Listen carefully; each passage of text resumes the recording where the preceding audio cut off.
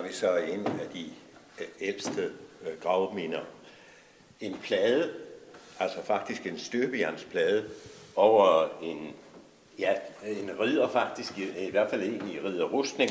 Uh, han hedder Mikkel Grabe, og så har vi Dorte Seested, hans kone, ved siden af. Den er fra 1558. Der er jo sket meget i denne kirke her. Uh, da reformationen var i sin begyndelse omkring øh, 1530, der er vi altså lidt før gravpladen her, øh, der øh, var det jo en prædikant, der hed Borgsmed, Peter Borgsmed, der var her. Og Peter, han havde studeret blandt andet i Lübeck øh, sammen med Hans Tausen, øh, som jo blev Danmarks reformator i 1536.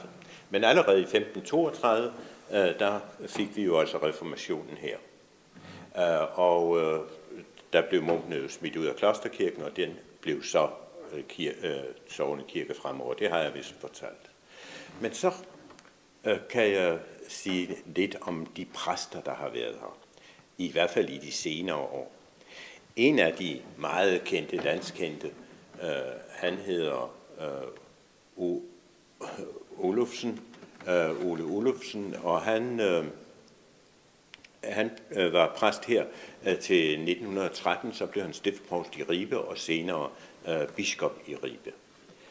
Olsen var noget af en øh, charmør, når det galt at fortælle historier. En af de lidt kendte er, at han en dag kommer ned til fru Petersen ned i Jessensgade, og hun laver selvfølgelig kaffe til ham. Og så kommer hun ind, hun var lidt fedtet, så kommer hun ind og siger, nu håber og tror jeg da, at øh, denne kaffe øh, må pa- presse, øh, passe pastoren. Og Olsen siger så, jamen min kære fru, her hjælper hverken tro eller håb. Her hjælper kun bønder. Uh, det var en af hans historier. Vi har en anden historie om ham, da han ligger på sit yderste. Der kommer en Horsens ven til ham. Jeg tror ikke, den er noteret nogen steder, men jeg har fået den fortalt. Og så siger han, nej, nu ligger jeg på det yderste, siger, siger nu skal jeg snart herfra, øh, siger biskoppen. Hvor til vennen siger, nej, nej, det klarer der sikkert mange år endnu. Men øh, øh, biskoppen slår dynen til side og siger, kan du se alle de liggesår, jeg har? Jeg er allerede frankeret. En af de senere præster fra 32, tror jeg det er, og, og frem efter til sådan noget som 57, det var Engsi Karup. Engsi Karup er kendt for sin store interesse for Valdemar Sejr, også for kirkens restaurering, for han var med til at, at skabe restaureringen.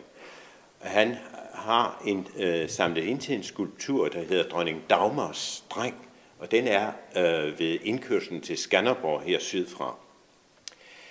Så, min, øh, så har der været øh, en af mine forgængere, Axel Jersen, øh, var noget af en skribent og noget af en, en kæmper øh, øh for øh, det kristne budskab. Øh, han, øh, han har skrevet som sagt mange bøger så kommer jeg til i 73, og jeg fungerer så øh, her frem til, øh, til 95, øh, altså øh, faktisk med udgangen af 94. Det var lidt om præster her i, øh, på stedet.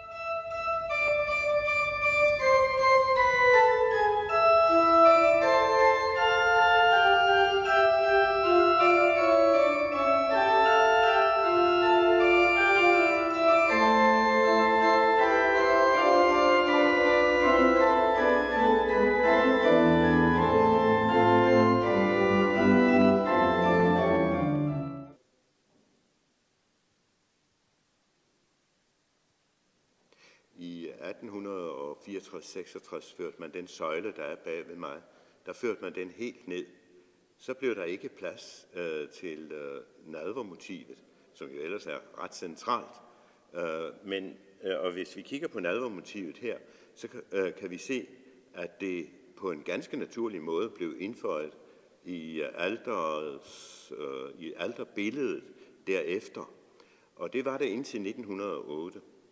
Øh, derefter fik man et Karl Blok-motiv, som nu hænger ude i Fuglse i nærheden af Tirstrup. Og så fik man det nuværende øh, altermotiv i 1950, øh, som øh, Viggo Norden og Utzen Frank øh, formede. Her ser vi tydeligt nadveren, og vi kan se, hvordan, hvad de har spist og lammet. Vi kan se Kristus, og vi kan se øh, her tydeligt Judas med pengepungen. Øh, det er alt sammen øh, et billede, der... Og Kristus selv øh, står med kalken eller bæret her og peger på sig selv og dermed og sådan set opad.